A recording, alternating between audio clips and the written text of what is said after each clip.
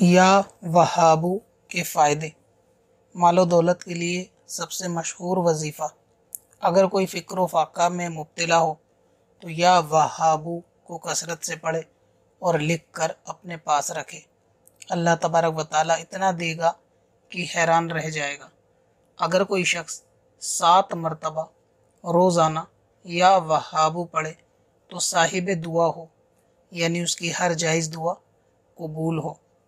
सवाब की नीयत से शेयर करें और वजीफ़ों के लिए विज़िट करें Wazifa dot S M S Warsi dot com.